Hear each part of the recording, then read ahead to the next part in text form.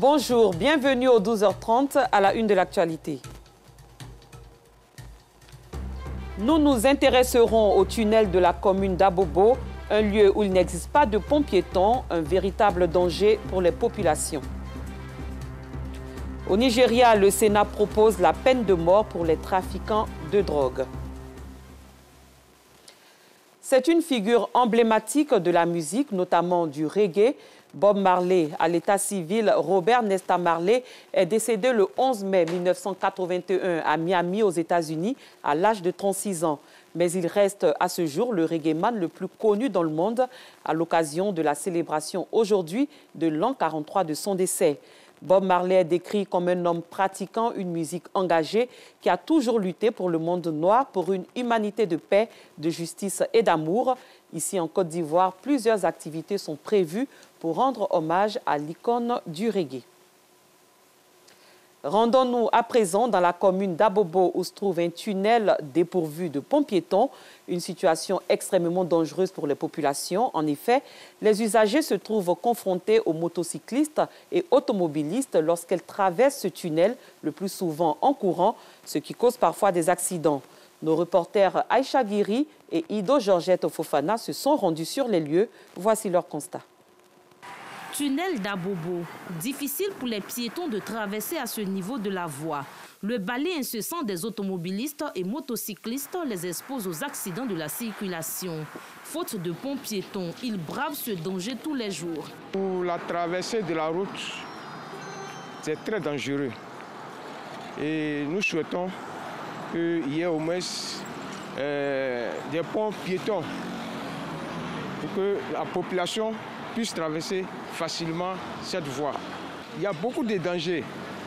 Les voitures vont à vive allure. Le marché qu'elle a, les enfants. C'est un peu malheureux qu'il n'y ait même pas de pont. À Bobo, il y a du monde. Si Madame le maire peut vraiment se pencher sur ça, ça allait vraiment, vraiment désengorger la circulation et puis arranger aussi la population d'Abobo. Et à chaque fois en traversant, ce n'est pas prudent. Surtout que euh, sur l'autoroute, quand euh, une voiture te heurte, et la voiture ne s'arrête même pas.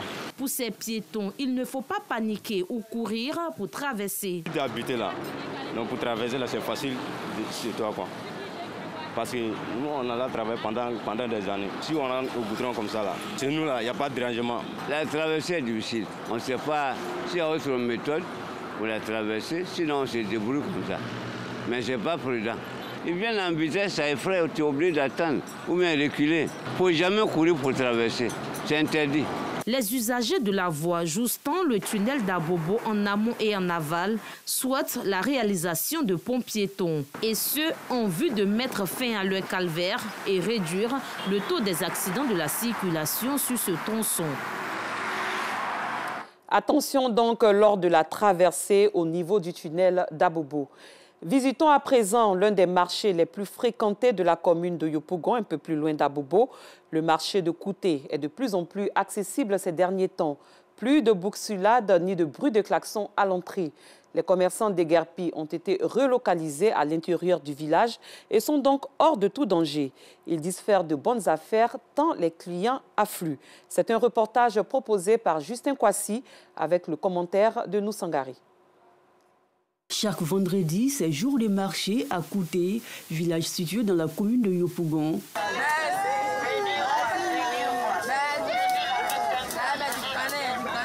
Ici, l'on trouve une diversité de marchandises à moindre coût. Friperies, bijoux, chaussures et autres marchandises. Aujourd'hui, vendredi, là, on a le marché. On est venu faire des achats. Je suis venu acheter des bijoux des chaînes, des boucles d'oreilles avec un peu d'habits, quelques petits trucs qui me manquaient. Quoi. On fait nos achats ici parce que c'est moins cher. Aller se déplacer, aller au marché, là, c'est pas les mêmes prix. Le bracelet, là, sans plaquer, ça peut coûter 5 000, 8 000, mais ici, c'est 1 500. J'ai vu un sac, on m'a dit le sac en ligne, ça coûtait 2 500. Et je me, je me suis retrouvée ici, à ma grande surprise, le sac à 1000 francs. Écoutez, c'est un marché où on a les marchandises à prix réduit. Ça nous arrange. L'afflux des clients dans ce marché, les mardis et vendredis, est une aubaine pour les commerçants. Ça me fait 4 ans que je vais au marché de coûter ici. Et je vends en gros, il peut envoyer 8 sacs par jour. On peut vendre à moins un sac à deux sacs. Ici, pour pouvoir liquider le bagage, on fait un prix en gros ce qui nous permet de vendre en quantité. Le marché de Kouté, autrefois situé en bordure de route, a été délocalisé à l'intérieur du village. Un soulagement pour les automobilistes. Depuis les commerçants ont quitté le lieu, on arrive à travailler librement maintenant. On gagne du terrain à, à garer, pouvoir bien garer, prendre les passagers pour aller, sinon en vent, c'était pas facile. Désormais, les commerçants exercent leurs activités en toute quiétude.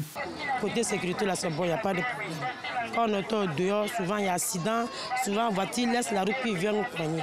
On vend sans crédit. Ici, il n'y a pas de médicaments. Dès que tu paies les tickets, c'est fini. Situé en plein cœur de la commune de Yopougon, le marché de Kouté demeure accessible aux personnes à faible revenu. Vous venez d'entendre le récit d'Assitan Diara. Dans un autre domaine, l'organisation internationale Slow Food a organisé récemment la cinquième édition de Terra Madre Day, une rencontre pour sensibiliser les populations aux bienfaits d'une alimentation saine et bio. Au menu des expositions et conférences, c'était au centre pilote de Port-Boué, comme nous le fait savoir Noussangari. Franck est spécialisé dans la commercialisation de produits bio.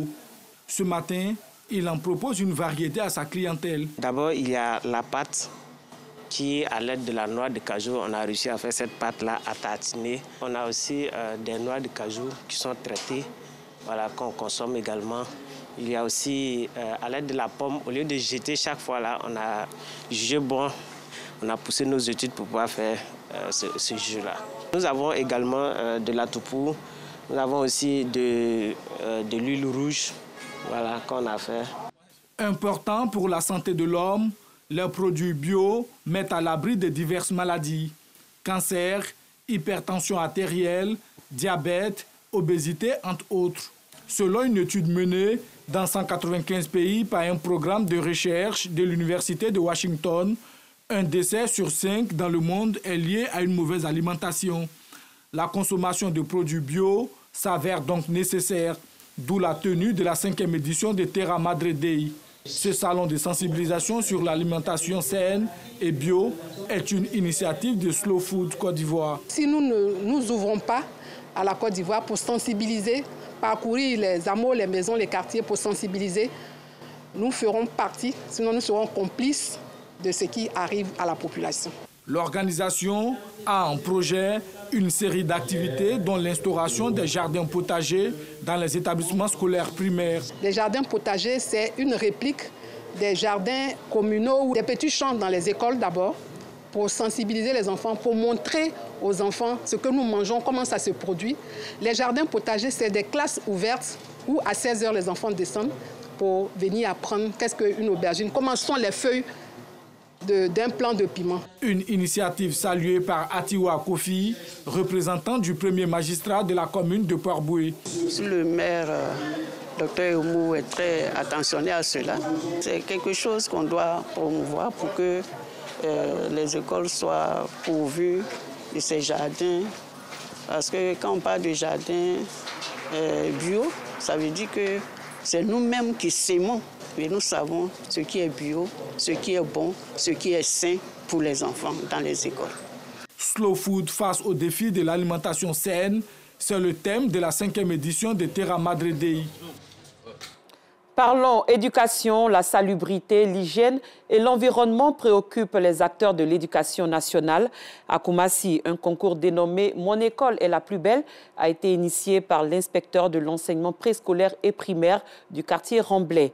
Il vise à inciter les responsables d'établissements à assainir leur cadre de travail, chose qui amène naturellement les élèves à produire de meilleurs résultats. Le mercredi 8 mai dernier, les gagnants de ce concours ont été dévoilés. C'était en présence de Clément Beaucoup. Les plantes vivent et respirent comme nous. Protégeons-les. Ou encore, je m'engage à respecter et protéger l'environnement. Avec ces slogans plantés un peu partout dans l'établissement, et ses murs aux façades bien ravalées, l'école primaire publique Siricouré, qui se trouve au sein du groupe scolaire Lagune, a fière allure, ce qui lui vaut d'être désignée meilleure école primaire de la circonscription préscolaire et primaire de Koumassi-Ramblay. Une fierté pour le directeur qui s'en réjouit. Lorsque je vois des enfants présentement, lorsqu'un papier tombe, le second qui vient, qui suit, il ramasse. C'est devenu un geste automatique des panneaux de sensibilisation. Les enfants, ils apprennent à vivre seuls, sans qu'on les guide. En ce qui concerne le préscolaire, c'est l'école maternelle Sissé Ibrahim Bakongo de Koumassi Ramblay qui remporte la première place. Ma joie est grande.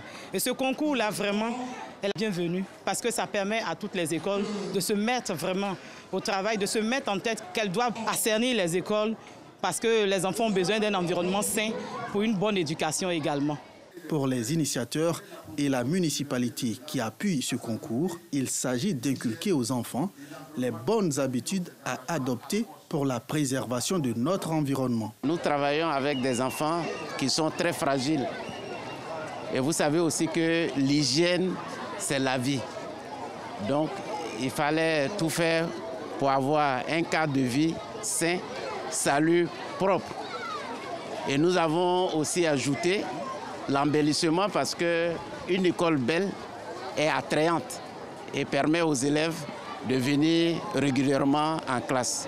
Alors Koumassi n'est qu'un tremplin, mais notre vision c'est que cela se passe dans toutes les communes de Côte d'Ivoire afin que les enfants soient déjà éduqués au respect de l'environnement, qu'ils ne soient pas des adultes demain qui vont agresser notre cadre de vie, qui vont agresser l'environnement et qui vont mettre encore l'avenir des générations futures en péril.